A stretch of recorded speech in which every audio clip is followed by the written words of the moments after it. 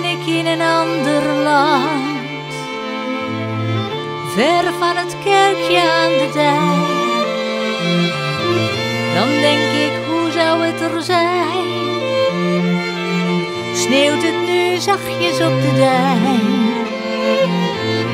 En zijn de kaarsen alweer aan? Zingen ze nu uit volle borst in excelsis Deo?